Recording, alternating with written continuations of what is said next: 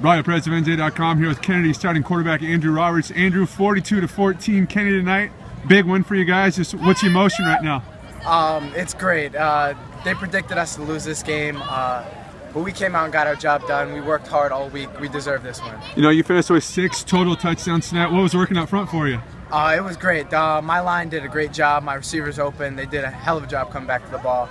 I'm very proud of them. You know, on some of your touchdowns passes, uh, I think one was to T- Terrence specifically. You just lobbed it up and he just went in and caught it at its highest point. How much fun was it for you to just throw the ball up and know your guys would go up and make plays? It, it's great. You know, having one of the uh, Terrence Young being one of the top three receivers in the county. Uh, he's just one hell of an athlete. And then moving forward, what does this do for you guys' confidence? Like you said, you know, some people were predicting you guys to go down this first round game, but you came out victorious, and now you got a big game next weekend uh, against Colonia. Yeah, we get to play our crosstown rival. We lost to them, but we're hoping to get back at them and have a good game. You know, and uh, when you guys were all huddled up, you were talking about redemption. Is that the focus this week, going out and uh, yeah, redeeming yourself? Yeah, that's um, we're looking forward to. We've been looking forward to this game all year long. Uh, we can't wait to play Colonia again. All right, great. Thanks, man.